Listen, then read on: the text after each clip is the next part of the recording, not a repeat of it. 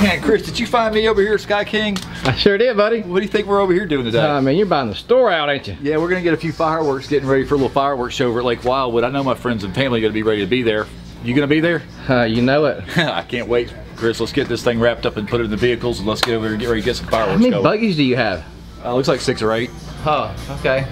Cool. I'm kind of excited. This is gonna be fun. You I'm how I like blow- Let's do it. You know I like to blow things up. Let's do it. It's fixing to go down. Get ready, Lake Wildwood is coming.